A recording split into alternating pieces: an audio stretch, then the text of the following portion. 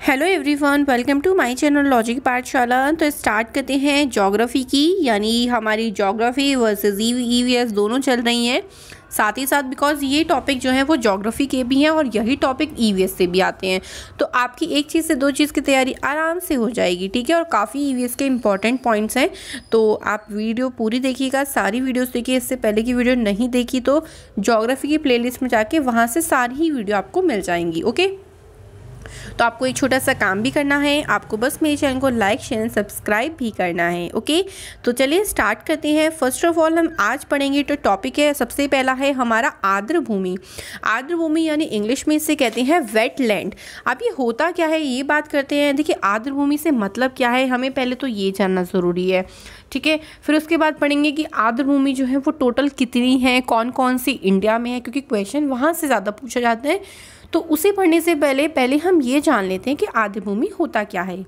तो वह क्षेत्र जो स्थायी या अस्थायी रूप से जल से कुछ समय तक ढका रहता है, या फिर आप कह सकते हो कि हमेशा दलदले आकार में प्रतीत होता है। इसके अंतर्गत झील, नदियाँ, डेल्टा ऐश्वरी आदि को शामिल किया जा सकता है। तो यहाँ पे क्या मतलब हुआ आर्द्र भूमि से? यानी ऐसा एक लैंड ऐसा एक क्षेत्र, जहाँ पर हमेशा क्या होता है, कुछ समय तक जल ही भरा रहता है। अब जल भरा रहेगा तो वहाँ की मिट्टी दलदली हो जाएगी तो वो जो एरिया है वो दलदल आकार का हो जाता है। अब बात करते हैं तो हमने पढ़ा कि भाई आर्द्रभूमि होता क्या है? विश्व में अगर हम बात करें, पर्यावरण की दृष्टि से 1971 में ईरान के रामसर रामसर इंडिया में नहीं है। नाम सुनने से तो ऐसा लग रहा होगा कि भाई ये इंडिया में है बट ये इंडिया में नहीं है। ये कहाँ पे है? ईरान में है। ईरान के रामसर नामक स्थान पर एक सम्मेलन हुआ था, जिसके तहत आदि भूमियों को संरक्षण की बात कही गई थी।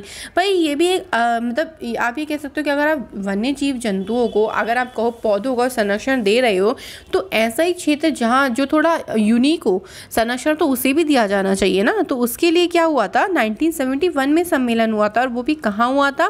ईरान के रामसर में हुआ था कि भाई आर्द्र भूमियों को भी संरक्षण देने के लिए कानून बनाया जाए और उसी के तहत वर्तमान में पूरे विश्व में कितनी आर्द्र भूमि क्षेत्र है, इसको ध्यान रखना।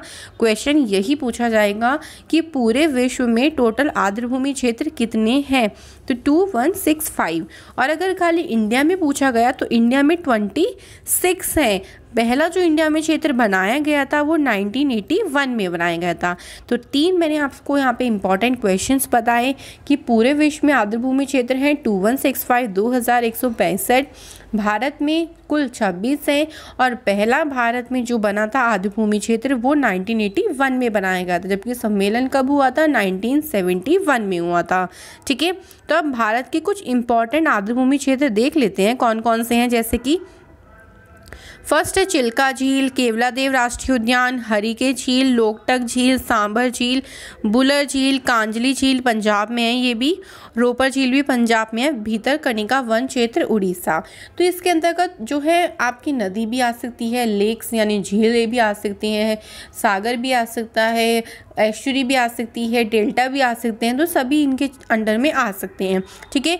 तो भारत में टोटल हैं तो ट्वेंटी सिक्स लेकिन हमने उसमें से कुछ इंपॉर्टेंट पढ़े जहाँ से क्वेश्चन बन सकता है कि भाई निम्न में से कौन सा एक जो है वो आर्द्र भूमि क्षेत्र है?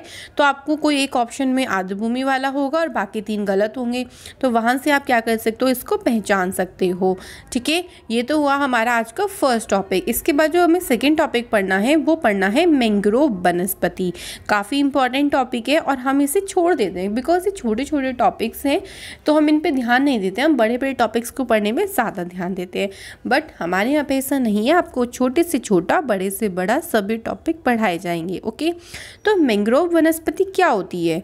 देखिए, आपने कभी देखा होगा, अपने बचपन में कुछ पेड़ ऐसे होते हैं, जिन पे कुछ लटकी रहती है, उनकी शाखाएँ भी ऐसी होती हैं, हमें लटकी लटकी प्रतीत होती है ना? जैसे लाइक या डायग्राम बनाया आपके सामने, ऐसे कुछ पेड़ आपने देखे होंगे, बचपन में, अभी भी देखते ही होंगे।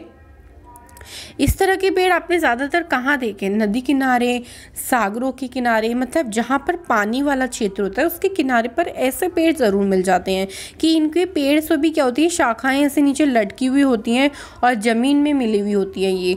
ठीक है? तो इन्हें ही कहते हैं मैंग्रोव वनस्पति, ओके? तो आप थोड़ा सा पढ़ते हैं इसके बारे में। यह वनस्पतियाँ सामान्यतः समुद्र के तटीय और डेल्टाई भागों में अधिक पाई जाती हैं, क्योंकि इन वनस्पतियों के लिए कुछ भौगोलिक विशेषताएँ ज़रूरी होती है। मतलब ये वनस्पति वहीं उग सकती हैं, जहाँ पर ये विशेषताएँ पाई जाएँगी। जैसे पानी की अधिक मात्रा होनी चाहिए मतलब कौन सा पानी चाहिए? खारा पानी चाहिए फ़र्स्ट ऑफ़ ऑल ठीक है? उसके बाद वहाँ की जो भूमि है, वो कैसी होनी चाहिए? दलदली होनी चाहिए। थर्ड है कि पानी की मात्रा कितनी होनी चाहिए वहाँ पे? थाउज़ेंड मिलीमीटर से थ्री थाउज़ेंड मिलीमीटर तक। और तापमान होना चाहिए नॉर्मल टेम्परेचर जितना होता है twenty five to thirty five degree Celsius तो इन सारी परिस्थितियों में वहाँ अगर ये सारी की सारी परिस्थिति हैं और ऐसा क्षेत्र जहाँ पर पानी है, दलदली भूमि है तो वहाँ पर मैंग्रोव वनस्पति इस तरीके से क्या होती है? मैंग्रोव वनस्पति उग जाती है।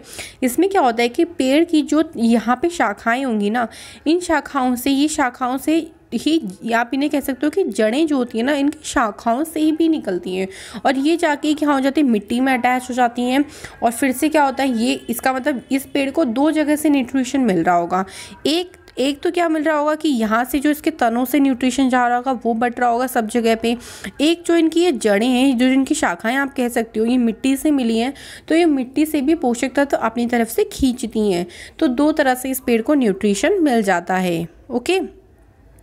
इसके बाद हमारा आज का जो थर्ड टॉपिक है, वो है प्रबाल भित्ति के बारे में। सभी ने सुना है कि भाई प्रबाल भित्ति क्या होती है? सुना तो होगा ही ना प्रबाल भित्ति का नाम, अगर पढ़ा भी नहीं है तो। तो जानते हैं कि भाई प्रबाल भित्ति क्या होता है?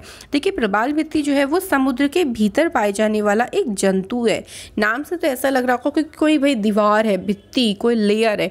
बट लेयर नहीं है, प्रवाल जो है वो एक प्रकार का जो है वो जंतु होता है जो समुद्र में पाया जाता है।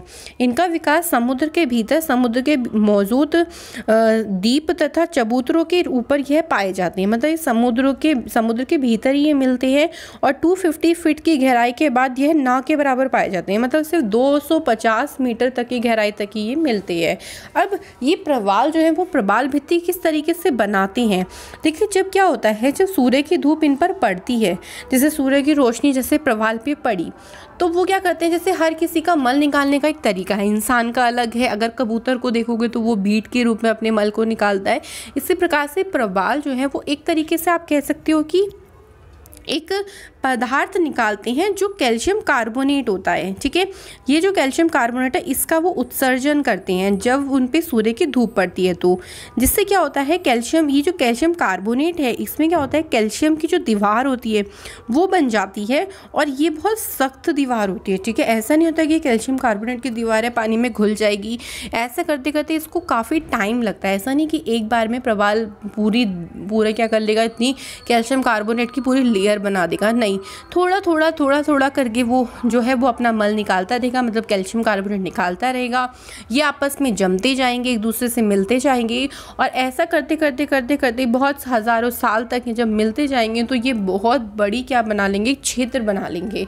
और इसी क्षेत्र को हम प्रवाल भित्ति कह सकते हो प्रवाल द्वीप बन जाता है मतलब कि प्रवाल प्रवाल भित्ति बनाते हैं और इसी भित्ति को बनते बनते बनते बनते जब ये बहुत हज़ारों साल तक बनती रहती है तो इससे क्या हो जाता है? प्रबाल द्वीप का निर्माण हो जाता है, जैसे उसका उदाहरण है भारत का लक्षद्वीप। तो देखिए, भारत के लक्षद्वीप जो है, वो वहाँ पर जो लक्षद्वीप बना है, वो इसी वजह से बना है और इसी तरह से तरह से बना है प्रवालों के द्वारा, क्योंकि प्रवाल भित्ति का एक उदाहरण है, ठीक है? तो इससे ध्यान रखना है कि भाई लक्षद्वीप प्रवाल भित्ति का क्या है? एक उदाहरण है। तो आपने सुना भी होगा कि लक्षद्वीप पर कोई खेती नहीं की जाती बिकॉज़ वहाँ की भूमि जो है वो कैल्शियम कार्बोनेट की है ना?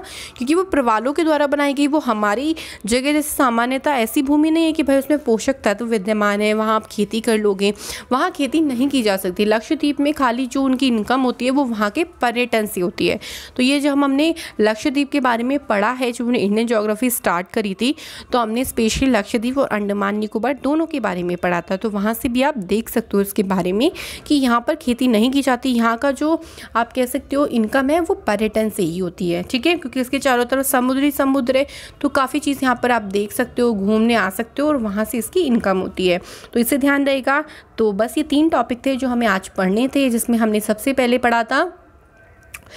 इसमें हमने क्या किया था? सबसे पहले पढ़ा था हमने आर्द्रभूमि पढ़ा था, फिर हमने पढ़ा था मैंग्रोव वनस्पति और उसके बाद प्रवाल भित्ति प्रवाल के बारे में पढ़ा। तो आई होप आपको वीडियो जो है काफ़ी हेल्पफुल रही होगी।